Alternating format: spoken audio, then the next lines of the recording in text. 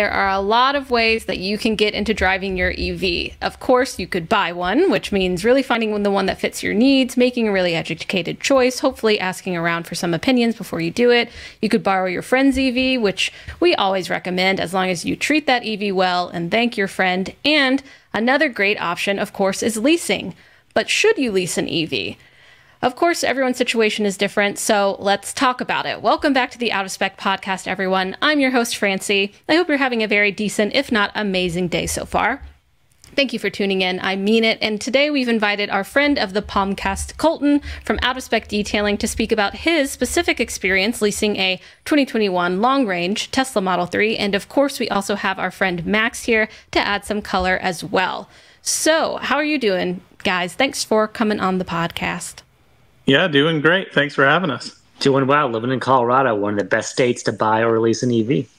You are not wrong. And I want to really get into the details of why that is true. So, first, I want to start before we go back in time to when Coleton originally made this decision to lease a Tesla, but to start by looking at what the current leasing price is, what the current leasing picture is, especially with Tesla.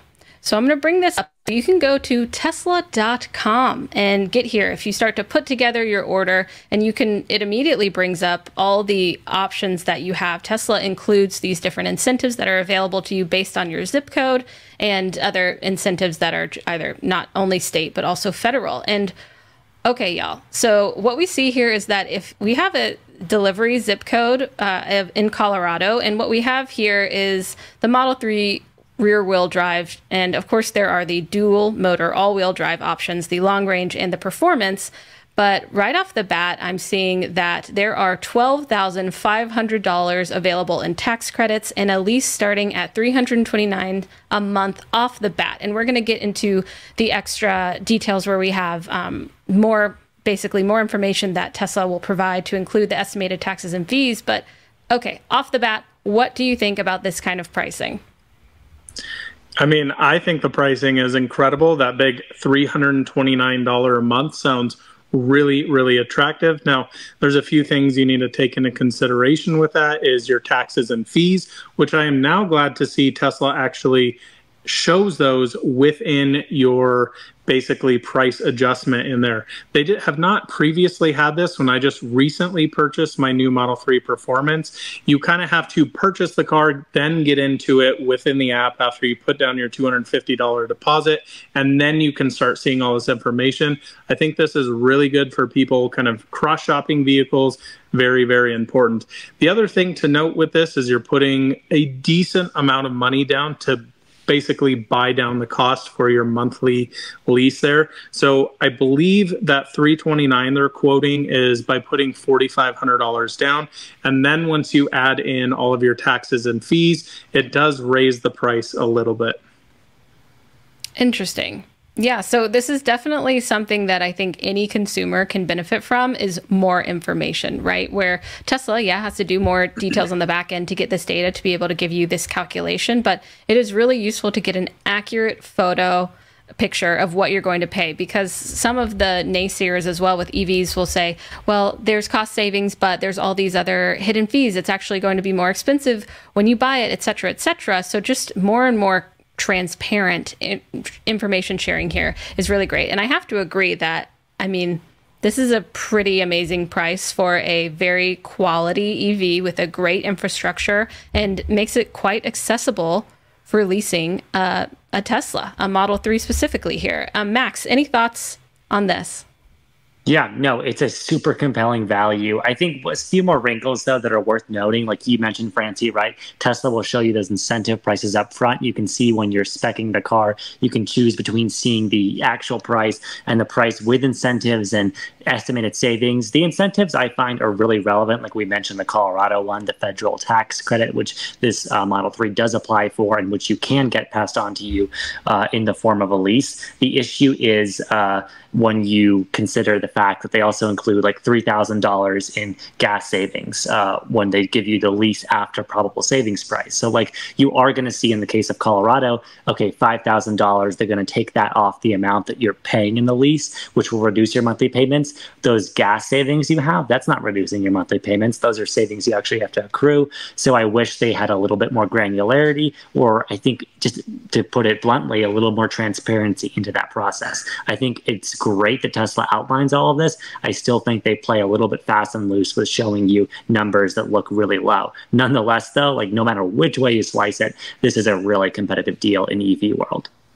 I must agree. And there are some improvements, of course, that could be made, but it does seem like they're moving in the right direction. and that is where it stands now. We've seen a lot of price drops lately from Tesla that are just absolutely turning the market on its head. Folks are, if they're really going to compete, they're really going to have to drop their prices and get creative about how they do it.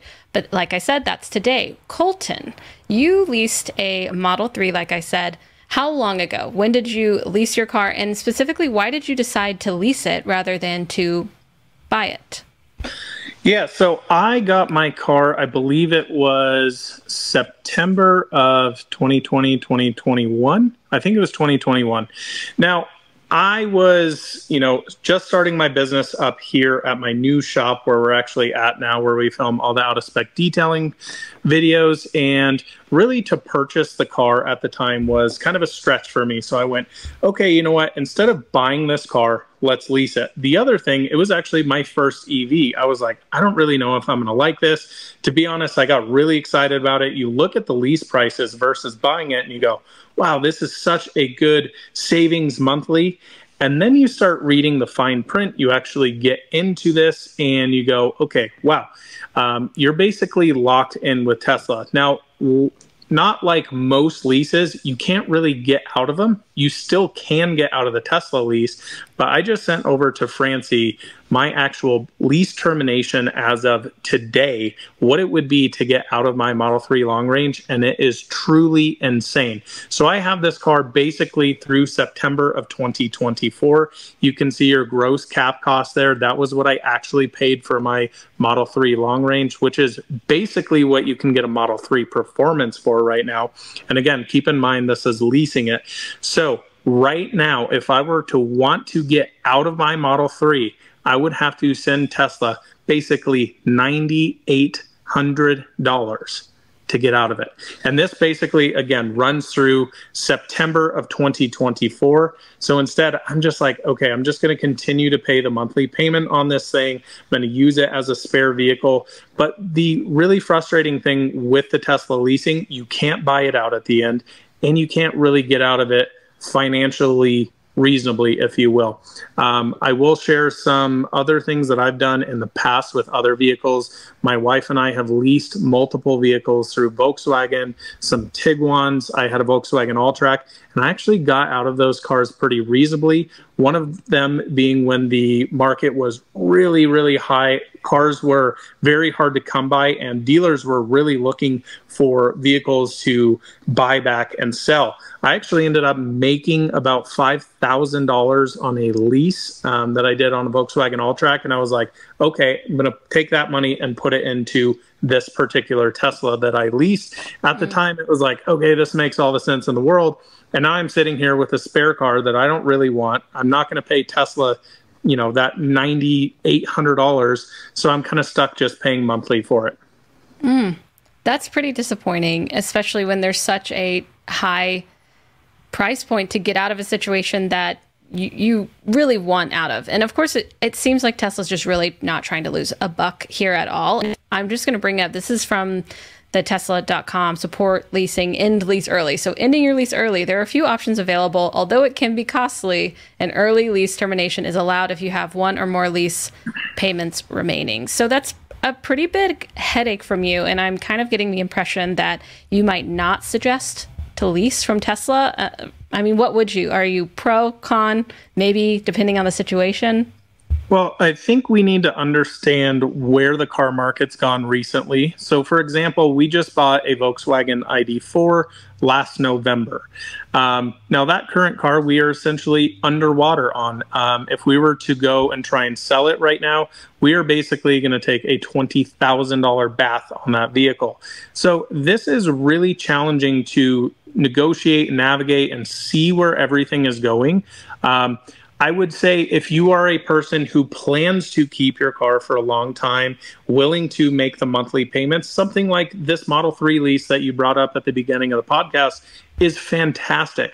I am one of those people who is a little bit ADD and uh, likes to get new stuff. And I get bored of things and I'm, you know, ready for a new car. My wife has already basically not even a year into her ID4 already wanting something else. This is why I've been researching what it is to get out of our current car. So it really depends on the market. And it's very hard to play this game, especially when you have what I kind of feel that Teslas are is a disposable vehicle. And I hate to say that, but they really are. This is not something that, um, you know, they're not easily replaceable. You're not investing it money into it to make money on something like a Porsche GT3, for example, that I have, you know, a ton of customers do that for a different reason. This is basically an appliance. You are purchasing it to drive it, use it, and then eventually you are going to be selling it and normally at a loss. So it's very challenging to kind of negotiate this. Now, if you were to pose me with the question, should I have leased my car when I did? I would say absolutely yes, because it's opened up a ton of doors for me for, you know, doing this whole out of spec thing. At the time, I couldn't afford to purchase the car that I wanted. So it really made sense for me to lease it. And, you know, everybody's financial situation is, of course, completely different, but it is quite frustrating if you do have something come up. Maybe you lose a job and now you can no longer afford that Tesla payment. You have this big nut that you have to pay for. Whereas if you purchase this car, yes, you may take a hit, but you would be able to quickly sell it and move into something more financially um, viable for yourself. I think that is a great point when folks are put into a really tough situation and there is no way out. And of course, you're entering into a contract with an automaker when you go to lease or buy a car, but it can really put folks in a tough position. And I also like that you turn lemons into lemonade, of course.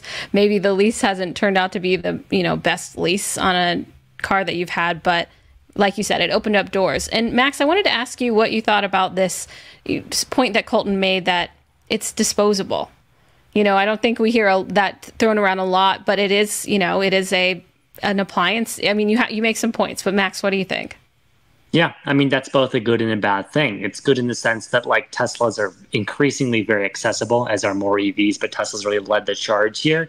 Uh, but it is absolutely an appliance. It saves you money in the long run, and yet a Model 3 or a Model Y, no one is going to say that vehicle is going to be as special as anything Porsche, really, that you can customize and obsess over the paint and cosmetics and color. I mean, yes, people uh, customize and wrap their Teslas, but ultimately these are increasingly commodity products. And with their commodity products, like Coleton was saying, with the market have been just depreciating rapidly. These are kinds of conditions that are really, really hard to predict. It's good news for buyers right now. It's bad news for people like, you know, you have equity on the ID4. I have equity on my Polestar 2 loan. I would also be upside down right now if I tried to sell it because things are just depreciating so quickly in EV world.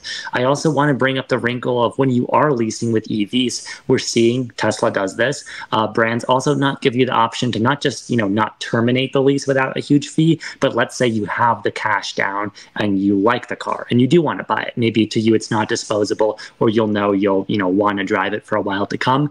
Uh, they don't let you do that. They don't let you buy out the car at the end of the lease. Like let's say after 36 months, I'm ready to keep going with this car. Nope, you can't do that. Uh, Ford's followed suit with Tesla, I believe, several years ago, and that's the case now. If you try to lease an F 150 Lightning or a Mach E, you will not be able to buy it out. So uh, you had this flexibility before in leasing traditionally in car world. And with EVs, manufacturers have basically found convenient ways to get around that. Tesla just, you know, that's the way it is. Ford gave some environmental justification saying they want to make sure that batteries are properly disposed of and looked after. But of course, right, this is ultimately you signing a contract. And uh, in the case of many of these leases, having fewer rights than you even used to.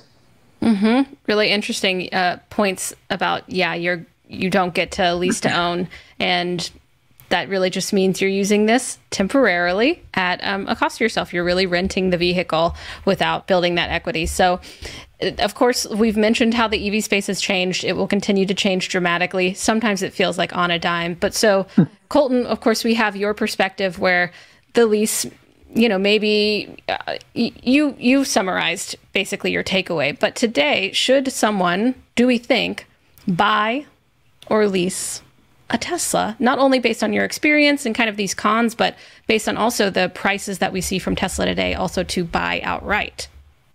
Yeah, Max, I think, think, the or Coleton. Sorry, uh, I think one thing people need to take consideration of is the federal tax credit. So, just full transparency, I ended up buying a brand new Model 3 Performance about, I guess, a month and a half ago.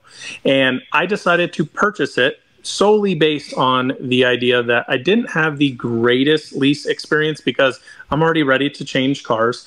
And I really wanted to take advantage of the amazing tax credits, especially that we have here in Colorado. Now, again, Tesla pricing has been all over the place. I ended up getting my car as an inventory vehicle, another $4,000 off MSRP. Then you take into consideration $7,500 from federal tax credit and $5,000 on top of that here in Colorado. And it was just like, okay, this is really a no brainer for me to do at this time. Um, yeah, I just think it's it's kind of all over the place and it's very very hard to make this decision. I think again, if you plan to keep the car for at least 3 years, so you do a 36 month lease, you know you're going to stay under that mileage cap, which was another deciding factor for me to purchase another Model 3. As you can see there on that screenshot, I'm at 24,800 miles or so. I have 30,000 miles on my lease. So I only have, you know, roughly 5,000 miles until September of 2024. So I knew I was going to be over miles on that. It's 25 cents a mile. Now, yes, that does sound like a lot, but when you also put it in perspective, it's actually cheaper than it really seems like it is. For example, I have an 05 Audi Allroad. It literally costs me more in gas to put money in that Allroad than it does to pay the overage mileage on my leased Model 3. So if you put another 10,000 miles on your leased vehicle from Tesla, it's 2500 bucks. In all reality, to drive 10,000 miles, $2500 is really not that much money um, considering, you know, gas and things like that. So it's it's a tough one. I think people need to outweigh um, their pros and cons, what they're looking for. Of course, the automotive market, even around Teslas and what the valuation of you know older Model Threes are, is kind of upside down right now. So, you know, purchasing a car, yes, it may be good at this time, but what is that car going to be worth in three, four, five, six years when you're ready to go sell it? Is it going to be fifteen thousand dollars? Is it going to be thirty thousand dollars? It's really hard to predict the future. The nice thing with the lease is it's a structured payment. You know, after three years, boom, I'm going to go cash myself in and get another one. Good to go. So, outweighing those pros and cons are a challenging thing. Definitely. I think there's a lot to consider, and I appreciate your perspective because you can, of course, weigh the pros and cons, but having a lived experience with it definitely adds some details because I'm sure we also have audience members who are considering what their options are and what the experience will be like. And you might not have read the fine print or really heard that there are um, incentives, or they de incentivize you to end your lease and that you're, you're kind of locked in until until they, they let you out. But then, of course, with the lower and lower prices for taking out a loan, but also the high interest rates, there's just a lot of moving parts to consider, and it's really not making it very easy. Max, do you agree?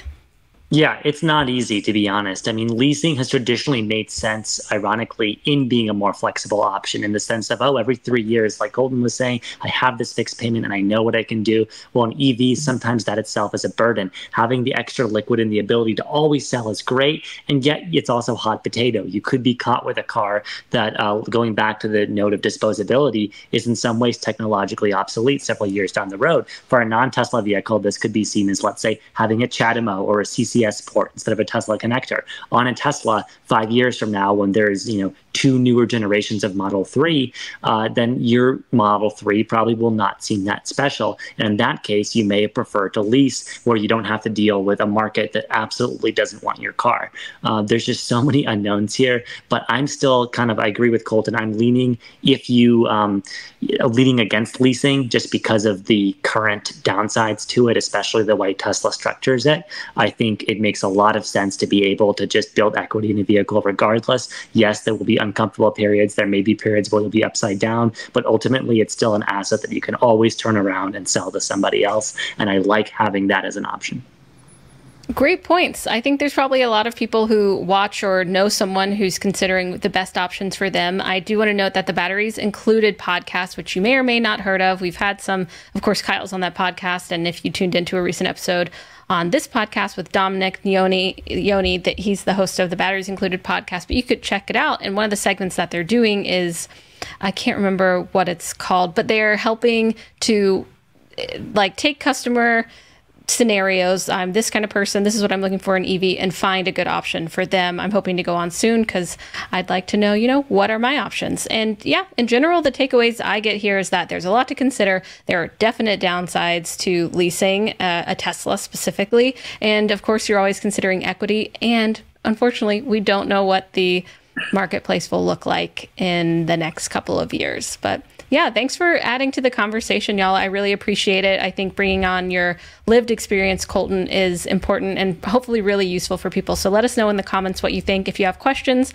maybe we can get Coleton to come on into the comments below and answer them as well. Thanks, y'all, for coming on. Thank you. No problem. Tune in next time to the Out of Spec podcast. I hope you have a very, very wonderful day.